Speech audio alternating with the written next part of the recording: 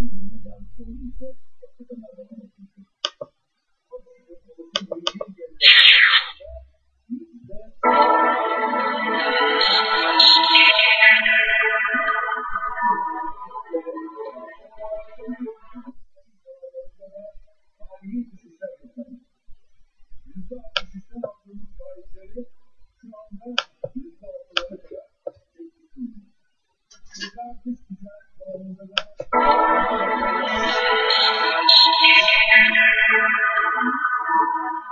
Thank